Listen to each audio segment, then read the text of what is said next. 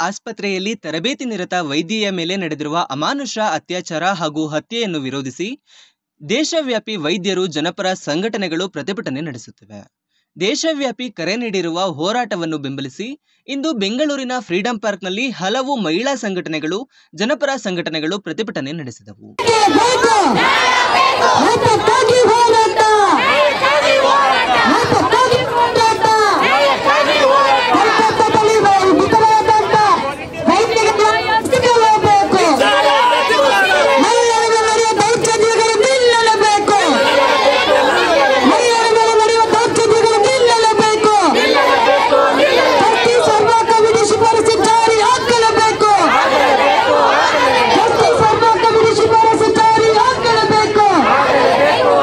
ದೇಶದಲ್ಲಿ ಹೆಣ್ಣು ಮಕ್ಕಳು ಎಷ್ಟು ಅಸುರಕ್ಷಿತವಾಗಿದ್ದಾರೆ ಅನ್ನೋದರ ಪ್ರತೀಕ.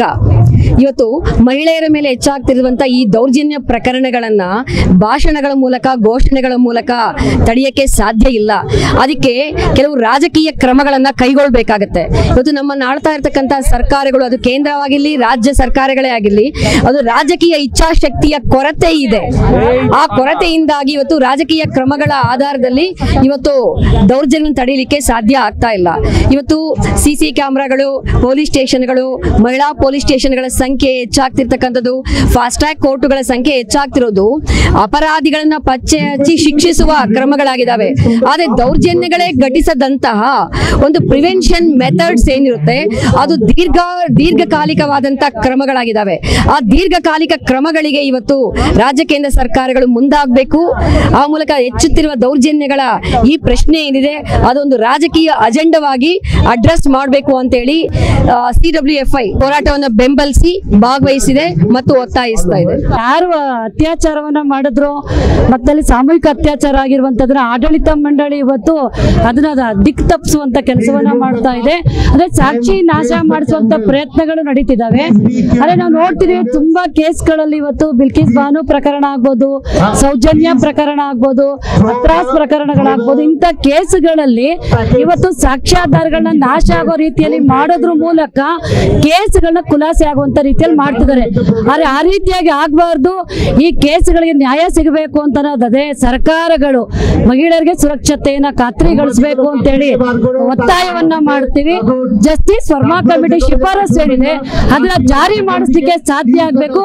ಮತ್ತು ಇವತ್ತು ವೈದ್ಯ ವಿದ್ಯಾರ್ಥಿನಿ ಏನ್ ಕೊಲೆ ಆಗಿದ್ದಾಳೆ ಆಕೆಗೆ ನ್ಯಾಯ ಸಿಗುವವರೆಗೂ ಕೂಡ ಹೋರಾಟ ಮುಂದುವರಿಸ್ತೇವೆ. ಆಗಸ್ಟ್ ಒಂಬತ್ತನೇ ತಾರೀಕು ಕಲ್ಕತ್ತಾದ ಆರ್ಜಿಕರ್ ಆಸ್ಪತ್ರೆಯಲ್ಲಿ ಸುಮಾರು ಮೂವತ್ತರಿಂದ ಮೂವತ್ತಾರು ಗಂಟೆ ಡ್ಯೂಟಿ ಮಾಡಿ ಆ ಆಸ್ಪತ್ರೆಯಲ್ಲಿ ಒಂದು ರೆಸ್ಟಿಂಗ್ ರೂಮು ಇಲ್ದೇನೆ, ಯಾವುದೋ ಸೆಮಿನಾರ್ ಹಾಲಲ್ಲಿ ಒಬ್ಬ ಕಿರಿಯ ವೈದ್ಯೆ ಸ್ವಲ್ಪ ಹೊತ್ತಿನ ವಿಶ್ರಾಂತಿಗಾಗಿ ಹೋದಾಗ ಅವಳ ಮೇಲೆ ಅತ್ಯಾಚಾರ ನಡೆದಿದೆ.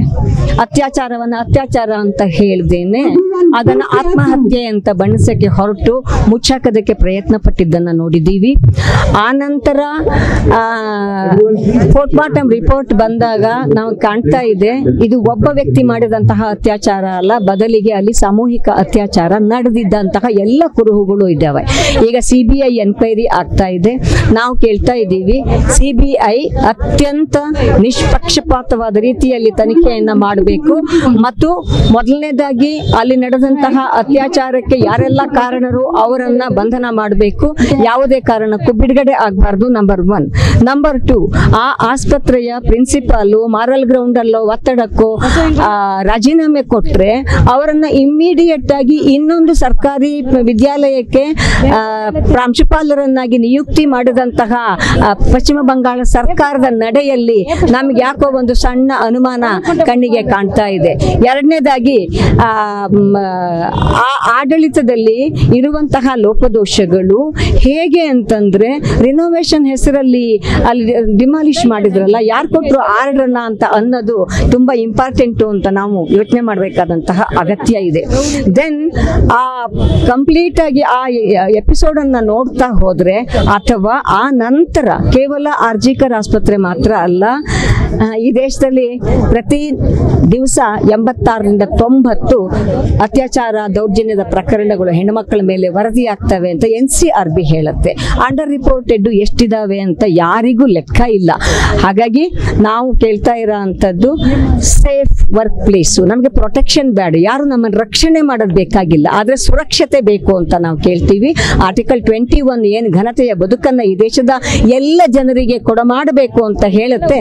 ಅದನ್ನು ಕೊಡುವ ಜವಾಬ್ದಾರಿ ನಮ್ಮ ಎಲ್ಲ ಸರ್ಕಾರಗಳದ್ದು ಅಂತ ನಾವು ಹೇಳೋದಕ್ಕೆ ಬಯಸ್ತೀವಿ. ಮತ್ತು ಈ ಪ್ರಕರಣದಲ್ಲಿ ಜಸ್ಟಿಸ್ ವರ್ಮಾ ಕಮಿಷನ್ನಿನ ರೆಕಮೆಂಡೇಶನ್ಸ್ ಅನ್ನ ಸರಿಯಾಗಿ ಜಾರಿಗೆ ತರುವ ಮೂಲಕ ಶೀಘ್ರವಾಗಿ ಅಂದ್ರೆ ವಿತ್ ಇನ್ ಸ್ಟಿಪ್ಯುಲೇಟೆಡ್ ಟೈಮು ವಿಚಾರಣೆ ನಡೆದು ಎಲ್ಲ ರೀತಿಯ ಆಸ್ಪತ್ರೆಯಲ್ಲಿ ಲ್ಯಾಬ್ಸ್ ಮಾಡೋದಕ್ಕೆ ಕಾರಣ ಆದವರು, ಸಾಮೂಹಿಕ ಅತ್ಯಾಚಾರ ಆಗಿರಬಹುದಾದ್ರೆ ಯಾರೆಲ್ಲ ಇದ್ದಾರೆ ಅವರುಗಳನ್ನೆಲ್ಲರನ್ನ ಸೇರಿ ಸರಿಯಾದಂತಹ ಕಾನೂನು ಕ್ರಮವನ್ನ ಕೈಗೊಳ್ಳಬೇಕು ಅಂತ ಹೇಳಿ ಆ, ನಾವು ಇವತ್ತು ಈ ರೀಕ್ಲೈಮ್ ವಿಮೆನ್ಸ್ ರೈಟ್ಸ್ ಅನ್ನುವ ಹೆಸರಲ್ಲಿ ನಾವು ನಾವಿವತ್ತು ಪ್ರೊಟೆಸ್ಟ್ ಅನ್ನ ಮಾಡಿದ್ದೀವಿ. ಇದು ಪುರುಷ ಪ್ರಧಾನ ವ್ಯವಸ್ಥೆ. ಈ ಪುರುಷ ಪ್ರಧಾನ ವ್ಯವಸ್ಥೆಗೆ ಕೊಲೆ ಎಂದು ಅಂತ ಕೇಳ್ತಾ ಇದ್ದಾರೆ. ಅದೇ ಪ್ರಶ್ನೆ ನೀವು ಕೇಳ್ತಾ ಇರೋದೀಗ. ಪುರುಷ ಪ್ರಧಾನ ವ್ಯವಸ್ಥೆ ಹೋಗದೇನೆ ಈ ತರದ ಅತ್ಯಾಚಾರ ಕೊಲೆ ಕಡಿಮೆ ಆಗ ಸಾಧ್ಯವೇ ಇಲ್ಲ. ಇದು ಇದರ ಮೂಲ ಇರೋದು ಪಾಳೆಗಾರ ವ್ಯವಸ್ಥೆನಲ್ಲಿ. ಪಾಳೆಗಾರ ವ್ಯವಸ್ಥೆನಲ್ಲಿ ಹೇಗೆ ಹೆಣ್ಣು ಒಂದು ಭೋಗದ ವಸ್ತು ಅಂತ ಹೇಳಿ ಪರಿಗಣಿಸ್ತಾರೆ. ಅದು ಇವತ್ತಿಗೂ ಕೂಡ ಹಾಗೆ ಮುಂದುವರೆದಿದೆ. ಹೆಣ್ಣನ್ನ ಭೋಗ ವಸ್ತು ಅಂತ ಹೇಳಿ ಮಾಡ್ತಕ್ಕಂತ ಒಂದು ಧೋರಣೆ ಇದೆಯಲ್ಲ. ಅದೇ ಧೋರಣೆ ಇಟ್ಟುಕೊಂಡು ಇವತ್ತು ಕಲ್ಕತ್ತಾದಲ್ಲಿ ನಡೆದಿದೆ ಬಿಹಾರಲ್ಲಿ ನಡೆದಿದೆ, ನಮ್ಮ ರಾಜ್ಯದಲ್ಲಿ ನಡೀತದೆ ಮಾಗಡಿಯಲ್ಲಿ ನಡೀತದೆ ರಾಯಚೂರಲ್ಲಿ ನಡೀತದೆ, ಎಲ್ಲ ಕಡೆನೂ ನಡೀತಾ ಇದೆ. ಯಾಕಂದ್ರೆ ಹೆಣ್ಣಿರೋದೇ ಭೋಗ ವಸ್ತು ಅಂತ ಹೇಳಿ. ಇದು ಬದಲಾವಣೆ ಆಗ್ಬೇಕು ಅಂತ ಹೇಳಿದ್ರೆ ಪುರುಷ ಪ್ರಧಾನ ವ್ಯವಸ್ಥೆ ಸಂಪೂರ್ಣವಾಗಿ ಹೋಗ್ಬೇಕು. ಪುರುಷ ಪ್ರಧಾನ ವ್ಯವಸ್ಥೆ ಹೋಗ್ಬೇಕು ಅಂತ ಹೇಳಿದ್ರೆ ಅದನ್ನ ಜಪ ಮಾಡಿದ್ರೆ ಹೋಗಲ್ಲ. ಭಜನೆ ಮಾಡಿದ್ರೆ ಹೋಗೋದಿಲ್ಲ. ಅದಕ್ಕೆ ಇವತ್ತು ಸೇರಿದಾರಲ್ಲ ಹೆಣ್ಣು ಮಕ್ಕಳು ಹೆಣ್ಣು ಮಕ್ಕಳು ಇದೇ ರೀತಿಯಲ್ಲಿ ಗಟ್ಟಿಯಾಗಿ ನಿಂತು ಈ ವ್ಯವಸ್ಥೆ ಬದಲಾಗಬೇಕು ಅಂತಕ್ಕಂತ ಒಂದು ಹೋರಾಟವನ್ನ ದಿಟ್ಟವಾದ ಹೋರಾಟವನ್ನ ಮಾಡ್ತಾರೋ ಆಗ ಮಾತ್ರವೇ ನೀವು ಹೇಳಿದ ಪ್ರಶ್ನೆಗೆ ಇದಕ್ಕೆ ಕೊನೆ ಎಂದು ಹೇಳ್ತಕ್ಕಂಥದ್ದು ಬರ್ತದೆ. ಇಲ್ಲಿ ಕಲ್ಕತ್ತಾದಲ್ಲಿ ನಡೀತಕ್ಕ ಏನಂತ ಹೇಳಿದ್ರೆ ಸರ್ಕಾರ ಮುಚ್ಚಾಗ್ತಾ ಇದೆ ಇದಿಲ್ಲ. ಅಲ್ಲಿ ಆಸ್ಪತ್ರೆನಲ್ಲಿ ಕೆಲಸ ಮಾಡಿ ಮೂವತ್ತಾರು ಗಂಟೆ ಕೆಲಸ ಮಾಡಿದಂತ ಹೆಣ್ಣು ಮಗಳಿಗೆ ರೆಸ್ಟ್ ಬೇಕಾಗಿತ್ತು. ಅವಳು ಅಲ್ಲಿ ಹೋಗಿ ಸೆಮಿನಾರ್ ಹಾಲಲ್ಲಿ ರೆಸ್ಟ್ ತಗೋತಾ ಇದ್ರೆ ಹೋಗಿ ಅವಳ ಮೇಲೆ ಅತ್ಯಾಚಾರ ಮಾಡಿ ಕೊಲೆ ಮಾಡಿದ್ದಾರೆ. ಅತ್ಯಾಚಾರ ಮಾಡಿ ಕೊಲೆ ಮಾಡಿದ ಮೇಲೆ ಸರ್ಕಾರ ಏನು ಹೇಳಿಕೆ ಕೊಡ್ತಾ ಇದೆ ಅಂತ ಹೇಳಿದ್ರೆ ಅವಳು ಆತ್ಮಹತ್ಯೆ ಮಾಡ್ಕೊಂಡ್ಬಿಟ್ಲು ಅಂತ ಹೇಳಿ ಅವ್ರ ಮನೆಯವರಿಗೆ ತಾಯಿ ಹೋಗಿ ಹೇಳ್ತಾ ಇದಾರೆ ನನ್ನ ಮಗಳು ಆತ್ಮಹತ್ಯೆ ಮಾಡ್ಕೊಳ್ಳೋದು ಅಲ್ಲೇ ಅಲ್ಲ ಅವಳು. ಅಂತ ಹೇಳ್ಬಿಟ್ಟು ಬಂದು ನೋಡಿದ್ರೆ ಆಗಿರೋದೇ ಬೇರೆ ಕತೆ. ಪೇಪರ್ ಬಂದಿರ್ತಕ್ಕಂಥ ರಿಪೋರ್ಟ್ಗಳನ್ನ ಓದಿದ್ರೆ ನಮಗೆ ನಾಚಿಕೆ ಆಗ್ತದೆ. ನಾನು ದೊಡ್ಡ ಅಂತ ಹೇಳೋಕೆ ನಾಚಿಕೆ ಆಗ್ತದೆ. ಅವಳ ಮೇಲೆ ಎಷ್ಟು ಜನ ಅವಳ ಮೇಲೆ ಅತ್ಯಾಚಾರ ಮಾಡಿದಾರೆ ಅಂತ ಹೇಳಿದ್ರೆ ಅವಳ ವ್ಯಾಜಿನದಲ್ಲಿ ನೂರೈವತ್ತು ಎಂ ಎಲ್ ವೀರ್ಯ ಇತ್ತು ಅಂತ ಹೇಳ್ತಾರೆ. ನೂರೈವತ್ತು ಎಂ ಎಲ್ ಈ ವೀರ್ಯಕ್ಕೆ ಒಬ್ಬನಿಂದ ಆಗಲ್ಲ. ಎಷ್ಟು ಜನ ಅಲ್ಲಿ ಅತ್ಯಾಚಾರ ಮಾಡಿದ್ದಾರೆ ಸರ್ಕಾರ, ಅಲ್ಲಿಯ ಸರ್ಕಾರ ಈಗಲೂ ಕೂಡ ಅಲ್ಲಿಗೆ ಅತ್ಯಾಚಾರ ಮಾಡೋವನ್ನ ಕೊಲೆ ಮಾಡೋದನ್ನ ಹಿಡಿಯಕ್ಕೆ ರೆಡಿ ಇಲ್ಲ. ಅವರಿಗೆಲ್ಲ ಪ್ರಮೋಷನ್ ಕೊಟ್ಟು ಮೇಲೆ ಕಳಿಸ್ತಾ ಇದ್ದಾರೆ. ಈ ಧೋರಣೆ ಬದಲಾಗಬೇಕು. ಈ ಧೋರಣೆ ಬದಲಾಗಕ್ಕೆ ಹೆಂಗ್ ಸಾಧ್ಯ ಅಂದ್ರೆ ಈ ತರ ಲಕ್ಷಾಂತರ ಜನ ಸೇರ್ಬೇಕು. ಲಕ್ಷಾಂತರ ಜನ ಹೋರಾಟ ಮಾಡಿದಾಗ ಮಾತ್ರವೇ ಇದಕ್ಕೆ ಕೊನೆ ಅಂತ ಹೇಳಲಿಕ್ಕೆ ಸಾಧ್ಯ.